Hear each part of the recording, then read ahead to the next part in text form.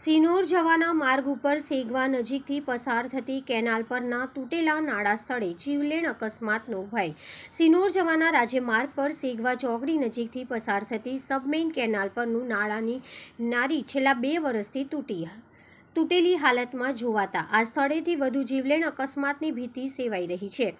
સ્થાનિકોમાં તંત્ર વિરુદ્ધ ભારે રોષ જોવા મળ્યો છે. વડોદરા જિલ્લાની સેગવા ચોકડીથી સિનોર જવાના રાજ્યમાર્ગ પર સેગવા ચોકડી નજીકથી પસાર થતી સબમેઇન કેનાલ પર બે વર્ષ અગાઉ મોટા ફોફડિયા ગામનો એક ખેડૂત નાળાની નારી તોડી ટ્રેક્ટર સાથે કેનાલમાં ખાબકતા ખેડૂતનું મોત નીપજ્યું હતું. જે ઘટનાને આજે બે વર્ષ ઉપરાંતનો સમય વીતવા છતાં આજ દિવસ સુધી વાહન ચાલકોની સુરક્ષાને ધ્યાનમાં રાખી જરૂરી સમારકામ કરાયું નથી.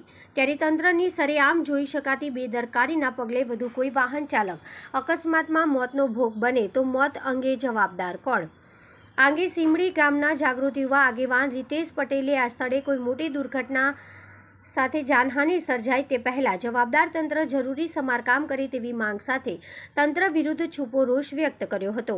ઉલ્લેખનીય છે કે સેગવા ચોકડીથી તાલુકા મથક સિનોર પહોંચવાના આ મુખ્ય રાજ્યમાર્ગનો ઉપયોગ મહાસતી અનસુયા માતા સૌભાગ્ય સુંદરી માતાજી કંજેઠા, માલ્યમધામ, માલસર, તીર્થસ્થાન ચાંદોદ જવા માટે અજાણ્યા વાહન ચાલકો મોટા પ્રમાણ કરતા, મોટા પ્રમાણમાં અવરજવર કરતા હોય છે. આ સ્થળેથી નાળાની તૂટી ગયેલી પારીનું કામ તંત્ર દ્વારા સત્વરે હાથ ધરાય તેવી લોક માંગ હવે પ્રબળ બની છે. ત્યારે તંત્ર માર્ગ સુરક્ષાના નામે આ અહેવાલ બાદ કેટલી સતર્કતા દાખવે છે તે જોવા